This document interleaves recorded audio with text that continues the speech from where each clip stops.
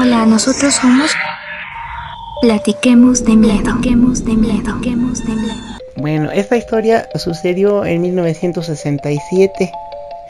En esa época yo trabajaba en Sambors del Hotel del Prado. Esa, esa unidad tenía eh, su almacén en la, en la parte de abajo, en el subterráneo, y había que bajar unas escaleras. Y en el corredor había este unos las máquinas de aire acondicionado, había lockers y había este máquinas de hielo. En la parte de abajo del almacén, pues es, ahí se guardaba toda la mercancía. Mucha gente de los empleados que los mandábamos a que subieran algún algún artículo que hiciera falta para la cocina o para algo les daba mucho temor bajar ya después de las 12 de la noche. En ese tiempo yo trabajaba de, de las 11 de la noche a las 6 de la mañana. Estaba yo como encargada en el turno de la noche. Y les daba mucho miedo. Y me decían ah, mire Marcelita acompáñenos acompáñenos para, para que vea cómo está este el almacén. Prendemos la luz y se siente mucho frío y a veces nos apagan la luz y a veces nos avientan cosas. Y pues sí nos da nos da miedo. En una ocasión mm, pues le pedí de favor a, a un almacenista que, que bajara. Estaba haciendo inventario en la parte de arriba que bajaba por unas latas de durazno. Y bajó y ya y subió pero su, bien asustadísimo y con una herida en la frente porque le habían aventado un, un bote de no sé si de durazno o de piña en almíbar pero lo lastimaron. Le digo, ay no puede ser posible se le cayó dice no no no no de verdad que me lo aventaron yo iba bajando la escalera y se me lo aventaron y, y pues no lo subió ya ningún pedido del muchacho no digo a ver vamos y, ya bajé, bajé con él y prendí la luz y todo, le digo, a ver, ¿qué pasa? Y le dice, verá cómo los van a espantar. Le digo, no, no nos van a espantar. A ver, vamos a ver. Y ya, pues no, no pasó nada. Sacamos toda la mercancía que necesitábamos, pero pues yo tenía que bajar, tenía que supervisar todo. Y no, no pasó nada. Pues ya, volvimos a subir. Eso fue una ocasión. En otra ocasión, les, les hacían travesuras a, a las personas, ¿no? y pues yo decía hacer algún empleado que pues es travieso y quiere impresionar a los demás, ¿no? Meterles miedo.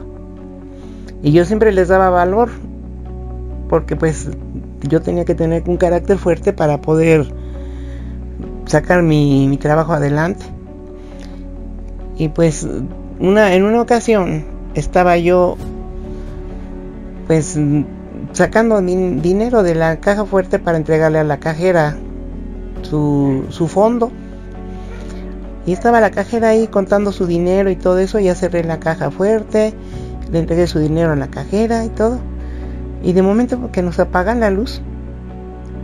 Y me dice la cajera, ay, dice, aquí nos están asustando. Le digo, no, no, ¿cómo nos van a asustar? A ver, vamos a prender la luz. Eh, ahorita voy a checar, a lo mejor se fundió algún fusible o que chequen allá abajo la planta de luz. Vamos a ver, no se preocupe, no pasa nada. Y ya salimos, ¿no?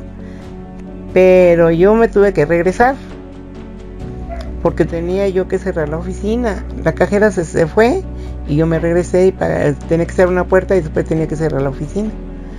Pues me volvieron a apagar la luz y me jalaron el pelo, pero pues dije no, yo creo que fue alguno de los empleados. Y rápido volteé y prendí la luz y no, pues no, no, no había nadie. Dije, no, pues no, no me va a dar miedo. A mí nadie me va a asustar. Y ya, pasó. Y, y así sucesivamente. Luego a las, a las cocineras también les hacían este travesuras. Cuando no estaban cocinando, cuando no ponían una cosa de más, ponían una cosa de menos, o les echaban una cosa a la comida que no iba ahí. Hasta que un día eh, hicieron una misa. Cada 12 de diciembre hacían, hacían misa. Y bendecían la unidad y todo, ¿no? Y pues ahí ya paró un poquito la cosa. Pero después yo, yo me tenía que quedar a doblar turnos, salí yo a las 6 de la mañana. Y me tenía que quedar de las, desde la, de las 6 a las 2 de la tarde porque mi compañero no podía recibirme en la unidad. Entonces, pues me metí a bañar para sentirme fresca porque no había dormido toda la noche. Y tenía mi ropa atravesada ahí en la, en la puerta del, del baño. Y ya agarré, ya me, me, metí a bañar y todo eso. Y ah, que me cierran la llave del, del agua. Y me empezó a caer pura agua bien fría. Dije, ay Dios mío, ya se tronó la llave. Yo nunca hice, nunca hacía caso de, de lo que pasaba, que me asustara yo y eso no. Trataba yo de ver la, de forma positiva las cosas. Y ya me, me, pues me terminé de bañar con agua fría. Y ya agarré y me estaba yo, este, cerré la llave del agua fría y de momento que me caía el agua, pero bien caliente, estando la llave del agua caliente cerrada. Empezó a caer otra vez bien caliente y me estaba yo quemando. Y agarré, me quité de ahí y volví a cerrar la llave y estaba cerrada. ¿qué pasó? Yo creo que ya se tronó. Pues ya, salí, dejó de caer el agua y me cambié y todo. Pero mi ropa no estaba completa. Y yo era la única persona que estaba en la unidad en esas horas. No había ningún empleado más que yo. Y ya agarré y dije, bueno, pues mm, voy a ver qué me pongo. No, fui a mi locker, chequé mi ropa, pues no, estaba ahí. Y mi ropa estaba en uno de los gabinetes del salón, en el restaurante. Y ya dije, bueno, ¿quién me está haciendo travesuras? Pero yo era bien valiente, decía, no, pues no me voy a asustar. Y no me van a asustar, no cualquier persona me va a asustar a mí. Y no sé, eso fue lo que a mí me sucedió en esas ocasiones. Pero pues los sustos siguieron. Y se volvió a mandar a decir una misa en diciembre y, volvía a descansar las travesuras que, que nos hacían.